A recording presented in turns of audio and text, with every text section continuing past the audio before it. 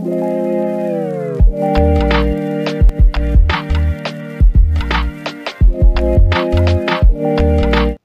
Assalamualaikum students and welcome to my YouTube channel The Observation and today I'm gonna teach you today I'm gonna tell you something about present simple tense तो students जब भी आप अंग्रेज़ी सीखना शुरू करते हैं इंग्लिश सीखना शुरू करते हैं तो सबसे पहले आपको यकीनी बात है कि टेंसेस जो है वो सिखाए जाते हैं और एक बात हमेशा जहन में रखिएगा कि अगर आप फ्लुएंट इंग्लिश बोलना चाहते हैं तो आपकी कमांड ज़रूर होनी चाहिए टेंसिस के ऊपर। अच्छा अगर हम देखें कि हमारे पास इंग्लिश ग्रामर में कितने टेंसेज हैं तो we have twelve tenses in English grammar four belong to present four belong to past and four belong to future tense तो अब इनमें भी सबसे, इन तीन टेंसेज में, यानी प्रेजेंट में पास में और फ्यूचर में अगर बात की जाए तो सबसे इंपॉर्टेंट टेंस जो होते हैं, वो होते हैं प्रेजेंट टेंस और प्रेजेंट टेंस के अंदर भी चार टेंसेज होते हैं हमारे पास. उनमें भी अगर सबसे इंपॉर्टेंट बात की जाए तो होता है प्रेजेंट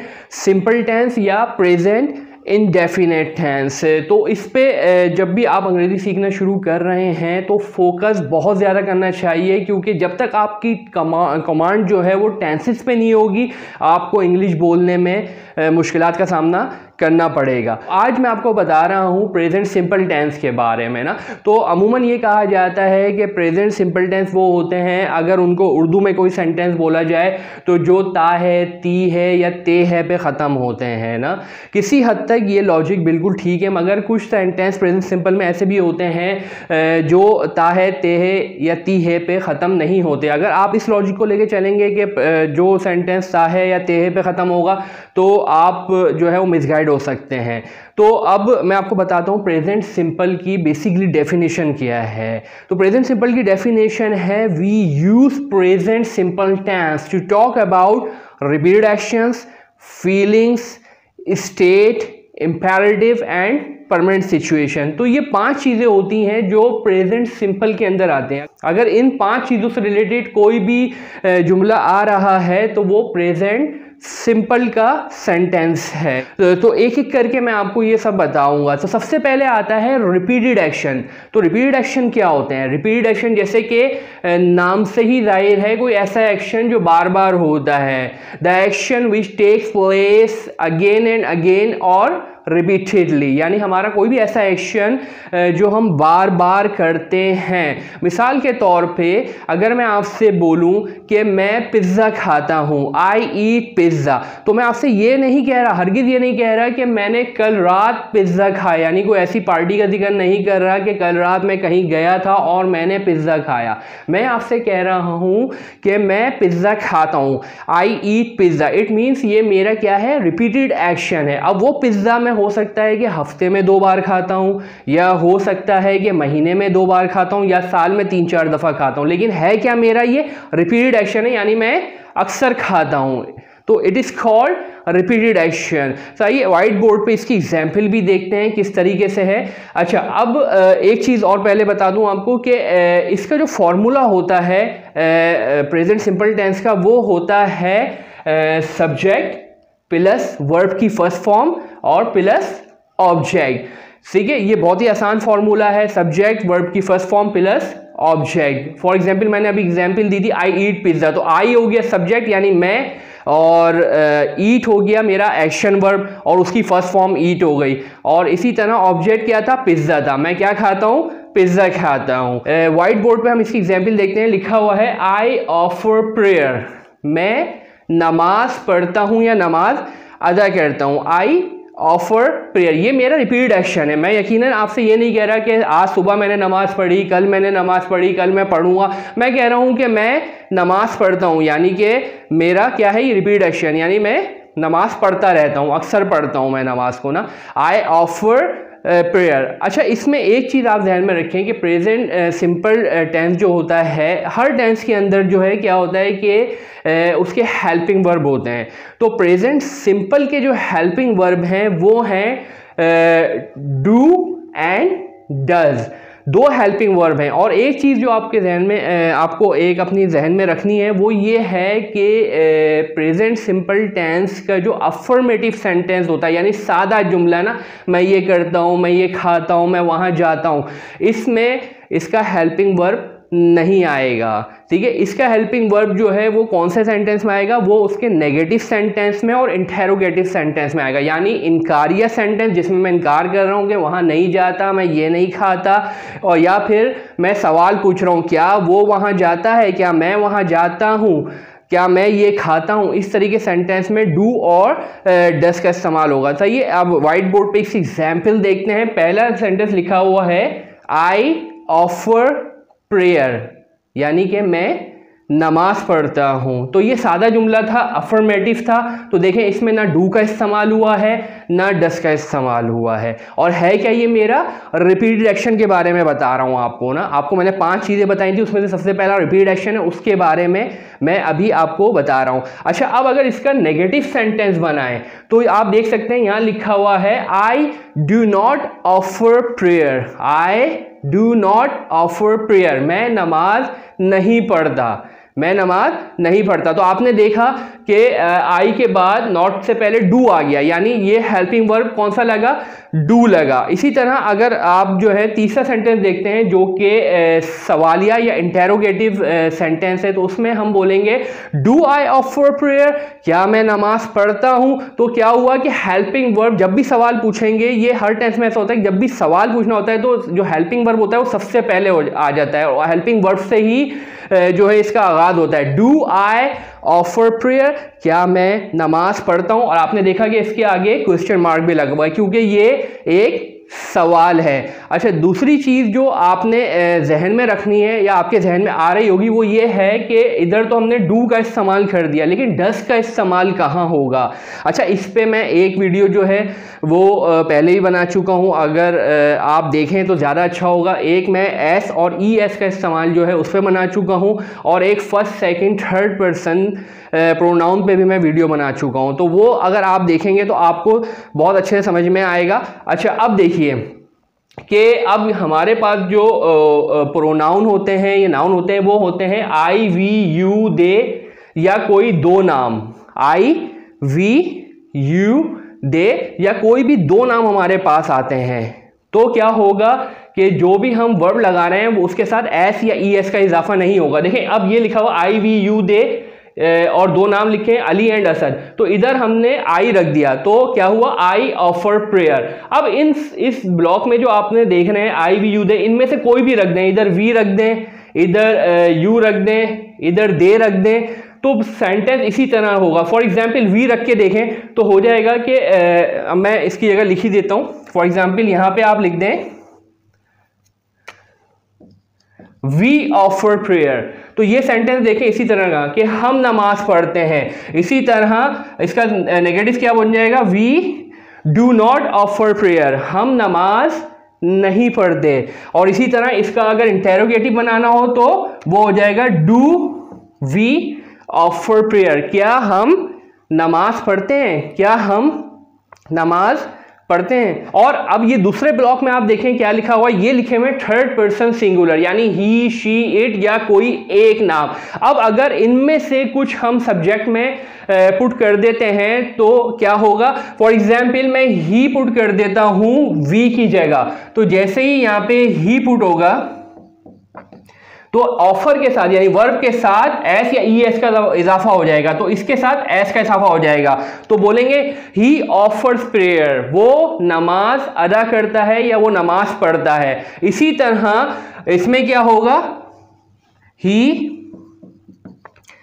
और डू के साथ ई एस का इजाफा यहाँ पे हो जाएगा। He does not offer prayer वो नमाज़ नहीं पढ़ता है। इसी तरह सवाल जब करेंगे क्या वो नमाज़ पढ़ता है? तो ये डस से शुरू हो जाएगा। डज ही ऑफ़र प्रेयर क्या वो नमाज़ पढ़ता है। तो ये हमारे थे रिपीट एक्शन जब भी थर्ड पर्सन सिंगुलर का यूज़ होगा तो एक तो ये काम याद, आप हमेशा याद रखिएगा कि सब्जेक्ट के बाद जो वर्ब आ रहा है, उसमें एस या ई एस का इजाफा होगा। और नेगेटिव और इंटेरोगेटिव सेंटेंस जब बनाएँगे तो उसमें डज आएगा। फॉर एग्ज़ाम्पल जैसे अभी हमने कहा बोले कि हम एग्ज़ाम फॉर एग्ज़ाम्पल अगर हम बोलें कि वो पिज़्ज़ा खाता है तो बोलेंगे ही ईट्स पिज़्ज़ा और अगर बोलें कि वो पिज़्ज़ा नहीं खाता तो हम बोलेंगे he does not eat pizza और क्या वो पिज़्ज़ा खाता है? डज ही ईट पिज़्ज़ा तो ये जो अभी मैंने आपके सामने एग्ज़ाम्पल पेश की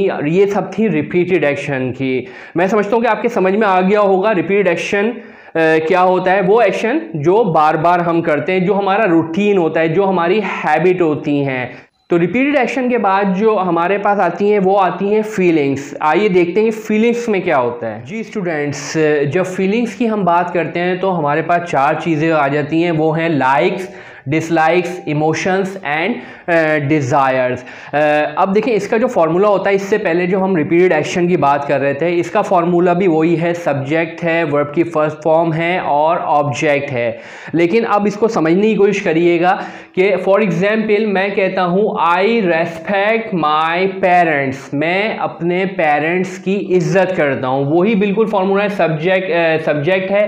सब्जेक्ट के बाद वर्ब है वर्ब के बाद ऑब्जेक्ट है। लेकिन ये रिपीटेड एक्शन से किस तरह अलग है और क्यों इसको हमने फीलिंग्स के अंदर अंदर जो है डाला गया इस सेंटेंस को? ये चीज़ समझने वाली है। देखिए, जब हम कह रहे थे कि आई ऑफ़र प्रेयर मैं नमाज़ पढ़ता हूँ तो वो मेरा एक्शन था रिपीट एक्शन था। अब इधर मैं कह रहा हूँ कि आई रेस्पेक्ट माई पेरेंट्स मैं अपने पेरेंट्स की इज़्ज़त करता हूँ। तो अब क्या मैं ये कह सकता हूँ कि मैं अपने पेरेंट्स की दिन में दो दफ़ा इज़्ज़त करता हूँ? ऐसा नहीं कर सकते मैं हफ़्ते में दो बार अपने वालदेन की इज़्ज़त करता हूँ ऐसा भी नहीं हो सकता। अगर मैं बोलूँ आई लव माई किड्स मैं अपने बच्चों से प्यार करता हूँ तो मैं ये कह सकता हूँ कि महीने में दो बार करता हूँ या दिन में दो बार करता हूँ या रोज़ाना करता हूँ। नहीं क्योंकि इस तरह नहीं कह सकते क्योंकि ये हमारा रिपीट ये हमारी फीलिंग्स हैं। ये हमारा एक ए, मतलब ए, एक फीलिंग्स हैं जिसको हम इस तरीके से काउंट नहीं कर सकते कि मैं रोज़ाना करता हूँ हफ़्ते में दो बार करता हूँ ये एक्शन नहीं है हमारा। तो इसलिए हमने इसको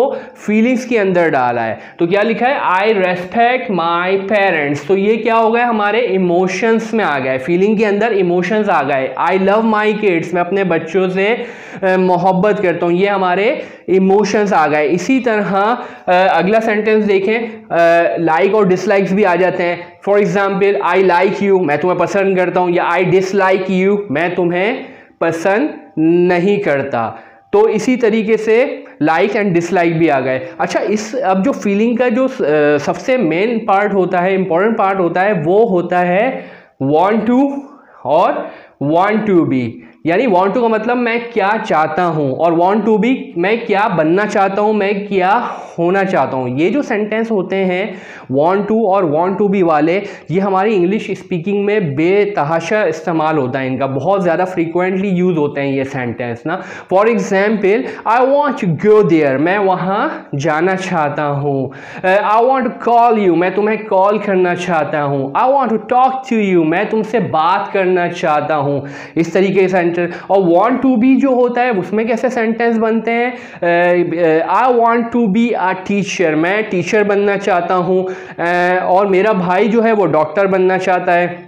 तो मैं क्या कहूँगा? I want to be a teacher and my brother wants to be a doctor मैं टीचर बनना चाहता हूँ और मेरा भाई जो है वो डॉक्टर बनना चाहता है। तो ये वॉन्ट टू वाले जो सेंटेंस होते हैं, ये बहुत ज़्यादा यूज़ होते हैं। ये हमारी फीलिंग्स के अंदर आते हैं। तो आप समझ गए होंगे कि अभी मैंने आपको दो चीज़ें बताई, एक रिपीट एक्शन और एक फीलिंग तो आप इसका फ़र्क जो है, वो समझ गए होंगे कि क्यों हमने इस सेंटेंस को फीलिंग के अंदर डाला, जबकि इसका फॉर्मूला जो था, वो एक ही था सब्जेक्ट वर्ब की फ़र्स्ट फॉर्म और ऑब्जेक्ट तो मैं समझता हूँ ये समझ गया होंगे। इसके अलावा एक चीज़ ध्यान में रखिएगा, जिस तरह हमने उधर जो है नेगेटिव सेंटेंस बनाए थे, इसी तरह इधर भी नेगेटिव और इंटेरोगेटिव डू और डस के इस्तेमाल के साथ लगेंगे। I want to go there मैं वहाँ जाना चाहता हूँ और मैं वहाँ नहीं जाना चाहता I do not want to go there क्या मैं वहाँ जाना चाहता हूँ? Do I want to go there और इसी तरह अगर सब्जेक्ट में थर्ड पर्सन सिंगुलर या कोई एक नाम आ जाएगा ही शी इट या कोई एक नाम का इस्तेमाल हो जाएगा तो डज लग जाएगा। For example Ali wants to go there Ali वहाँ जाना चाहता है तो वॉन्ट के साथ एस का इस्तेमाल हो गया। क्योंकि इधर वॉन्ट जो था, वो वर्ब के तौर पर इस्तेमाल हो रहा था। Ali wants to go there Ali वहाँ नहीं जाना चाहता। Ali does not want to go there क्या अली वहाँ जाना चाहता है? Does Ali want to go there तो ये इसी तरीके से डू और डस का इस्तेमाल हुआ, जिस तरह रिपीट एक्शन में हुआ था। जब भी सब्जेक्ट में थर्ड पर्सन सिंगुलर या एक नाम आएगा तो डस और जब आ, आ, इनके अलावा आई वी यू दे या कोई दो नाम आएँगे तो डू का इस्तेमाल होगा। लेकिन ये बात रखिएगा अफर्मेटिव में नहीं नेगेटिव या इंटरोगेटिव सेंटेंस में। ये मैं बार बार इसलिए रिपीट कर रहा हूँ कि आपके जहन नशी हो जाए। आ, अब तीसरी चीज़ जो हम पढ़ेंगे इसी टेंस के अंदर आती है वो हैं स्टेट्स तो जैसे कि मैं वीडियो के शुरू में बात कर रहा था कि प्रेजेंट सिंपल के अंदर कुछ ऐसे सेंटेंसेस भी आते हैं, ज़रूरी नहीं है जिनके आखिर में ता है ती है और ते है आता हो तो वो होते हैं स्टेट। तो अगर स्टेट की बात की जाए तो स्टेट का मतलब होता है कंडीशन, हालत। तो एक वीडियो मैं इस पर भी बना चुका हूँ जिसमें मैंने बताया है कि स्टेट वर्ब और एक्शन वर्ब में क्या फ़र्क होता है। तो एक्शन वर्ब जो अभी हम पढ़ रहे हैं, जैसे I offer prayer, I eat pizza, ये सब एक्शन वर्ब थे। यानी इसको परफॉर्म करते हुए हमारी बॉडी जो होती है वो मूव होती है। यानी बॉडी जेस्चर से हम अदा लगा सकते हैं कि कौन क्या काम कर रहा है तो ये सारे जो होते हैं एक्शन वर्ब होते हैं। और स्टेट जो होते हैं वो हमारी कंडीशन हमारी हालत को बयान करते हैं कि हम कौन हैं हमारे पास क्या है और हम कहाँ पर है। फॉर एग्ज़ाम्पल अब स्टेट वर्ब की बात की जाए तो हमारे पास इस टेंस के अंदर प्रेजेंट सिंपल टेंस के अंदर पाँच स्टेट वर्ब है। Is am are has and have अच्छा अब स्टेट वर्ब uh, के अंदर हम uh, जो है वो किन चीज़ों के बारे में बताते हैं? हम बता सकते हैं पोजीशन के बारे में। हम बता सकते हैं illness characteristics relationship occupation and existence के बारे में हम बात कर सकते हैं। फॉर एग्ज़ाम्पल पहला सेंटेंस हम देखते हैं कि आई हैव अ कार मेरे पास एक गाड़ी है। I have a car. अब अगर इसका उर्दू में तर्जुमा किया जाए, मेरे पास गाड़ी है तो इसमें ता है तो आई नहीं, ती है, ते है, कुछ भी नहीं आया। मेरे पास एक गाड़ी है। तो ये इस इस सेंटेंस ने आई हैव अ कार इसने क्या शो किया? मेरा पोजीशन शो किया। यानी मेरी मलकियत को शो कर दिया कि मेरे पास क्या है? I have a car I have a marker right now for example इसी तरह सेकंड सेंटेंस को हम अगर देखें तो इसमें लिखा है ही हैज़ अ फीवर यानी उसे बुखार है, उसे बुखार है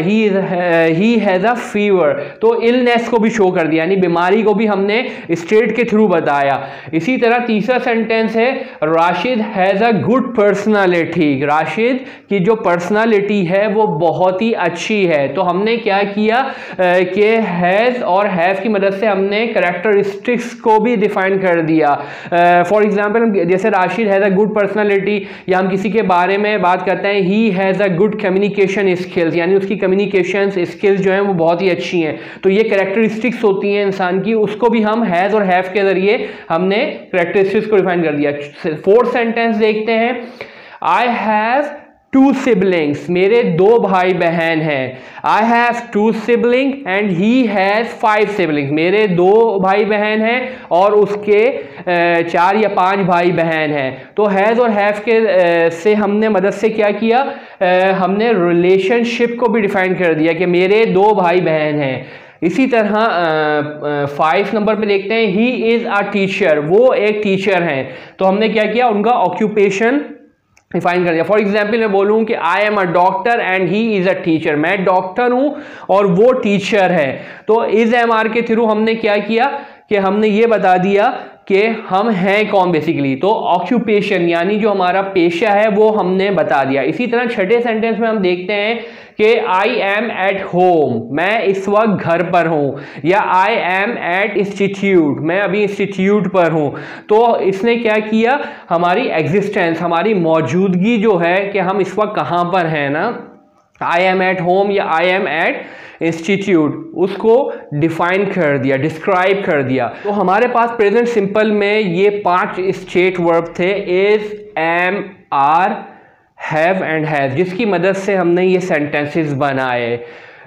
अब प्रेजेंट सिंपल टेंस के अंदर जो चौथी चीज़ है, वो है हमारे पास इम्पेरेटिव सेंटेंसेस स्टूडेंट्स इम्पेरेटिव में जो हम बात करते हैं, वो बात करते हैं ऑर्डर की एडवाइस की सजेशन की या इंस्ट्रक्शन की। यानी हम इन सेंटेंसेस में या तो किसी को ऑर्डर दे रहे होते हैं या किसी को एडवाइस दे रहे होते हैं सजेशंस दे रहे होते हैं, या फिर इंस्ट्रक्शन दे रहे होते हैं। अच्छा ये देखें, इसमें क्या होता है? इट है इट इज़ सब्जेक्ट लेस इस, ये जो सेंटेंस होते हैं, इसका कोई सब्जेक्ट नहीं होता है ना?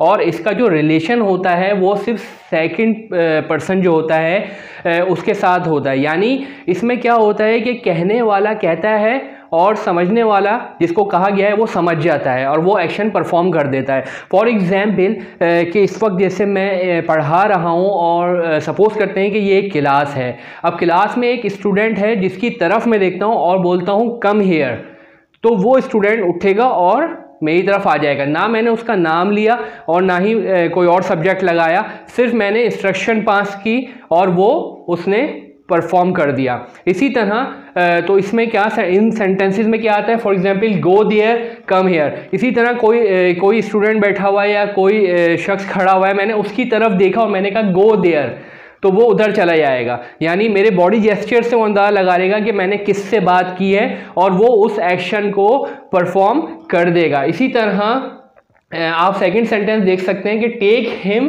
to the hospital इसे हॉस्पिटल लेके जाओ।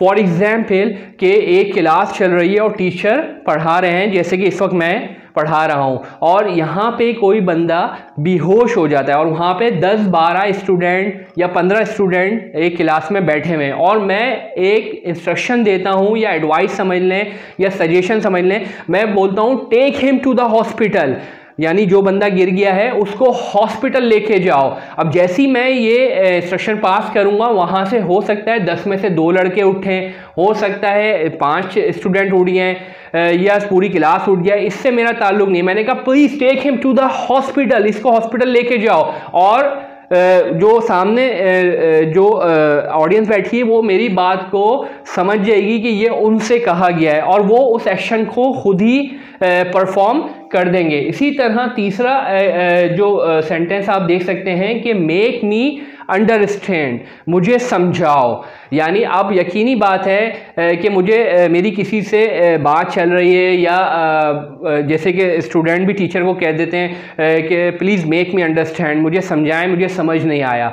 तो टीचर खुद ही समझ जाएगा कि ये मुझसे कहा जा रहा है। तो इस तरीके के जो सेंटेंस होते हैं सब्जेक्ट लेस होते हैं और इनका ताल्लुक सिर्फ़ सेकंड पर्सन से होता है। यानी जो फ़र्स्ट पर्सन बोलता है और सेकंड पर्सन उसे आ, समझ जाता है। तो ये सारे सेंटेंसेस जो होते हैं ये इम्पेरेटिव कहलाते हैं और ये भी प्रेजेंट सिंपल के अंदर आते हैं। पांचवा और लास्ट जो हमारे पास है प्रेजेंट सिंपल के अंदर वो है परमानेंट सिचुएशन अच्छा परमानेंट सिचुएशन परमानेंट सिचुएशन जैसे नाम से ही ज़ाहिर हो रहा है कोई ऐसी चीज़ जो कि परमानेंट है, यानी जो तब्दील नहीं हो सकती। इन सेंटेंसेस में अक्सर यूनिवर्सल ट्रुथ भी आ जाते हैं। यानी कोई ऐसे सेंटेंस जो अगर सौ साल या डेढ़ सौ साल पीछे चले जाएँ, जब भी वो उसी तरीके से बोला जाता था, आज भी उसी तरीके से बोला जाता है, और फ्यूचर में भी वो उसी तरीके से बोला जाएगा, उसमें कोई चेंजिंग नहीं हो सकती। फॉर एग्ज़ाम्पल के नंबर वन पे लिखा हुआ है कि sun rises in the east and sets in the west सूरज जो है वो मशरक़ से निकलता है और मगरिब में डूबता है। तो ये जुमला हमेशा से इसी तरीके से बोला जाता है कि सूरज मशरक़ से निकलता है, मगरिब में डूबता है। और इसी तरह जब तक अल्लाह चाहेगा तो ये बोला जाएगा कि सूरज मशरक़ से निकलता है और मगरिब में डूबता है। इसी तरह सेकंड सेंटेंस है the earth revolve around the sun जो ज़मीन है वो सूरज के गिर्द घूमती है। ये भी यूनिवर्सल ट्रूथ है, ये भी हमेशा से इस तरह बोला जा रहा है और बोला जाता रहेगा। इसी तरह water freezes at zero centigrade सबको पता है कि ज़ीरो सेंटीग्रेड पे जो है वाटर जो है वो जम जाता है, बर्फ़ बन जाता है। तो ये भी एक यूनिवर्सल ट्रूथ है। ये सेंटेंस भी इसी तरीके से बोला जाएगा। चौथी एग्ज़ाम्पल हम लेते हैं water boil set at hundred Celsius. तो आ, के जो पानी है वो उसका जो बॉयल होता है बॉयल होना जो हंड्रेड सेंटीग्रेड पे हंड्रेड सेल्सियस पे वो बॉयल हो जाता है। तो ये भी एक यूनिवर्सल ट्रूथ है। तो इस तरह के जितने सेंटेंसेस आते हैं जिसमें हम अपनी मर्ज़ी से कोई तब्दीली नहीं कर सकते वो परमानेंट सिचुएशन होती है उसमें यूनिवर्सल ट्रूथ भी आ जाते हैं तो वो आते हैं परमानेंट सिचुएशन के अंदर। तो अब थोड़ा सा रिव्यू कर लें। हमने सबसे पहले जो पढ़ा वो पढ़ा रिपीटेड एक्शन उसके बाद हमने पढ़ा फीलिंग्स उसके बाद हमने पढ़ा स्टेट फिर इम्पेरेटिव और फिर परमानेंट सिचुएशन तो ये पाँचों चीज़ें होती हैं जो कि प्रेजेंट सिंपल टेंस के अंदर आती हैं। तो मैंने कोशिश की कि इस टेंस को डिटेल के साथ आपको पढ़ाया जाए और कोशिश की कि आपके समझ में आए। उम्मीद है कि आपको समझ में आया होगा। इस वीडियो को जो है बार बार आप देखें ताकि आपके समझ में आए। ये सबसे इंपॉर्टेंट टेंस होता है। ये बात मेरी हमेशा याद रखिएगा। प्रेजेंट सिंपल टेंस मेरी वीडियो को लाइक ज़रूर करें। करें और चैनल अगर अभी सब्सक्राइब नहीं किया है तो प्लीज़ सब्सक्राइब करें। Thank you very much.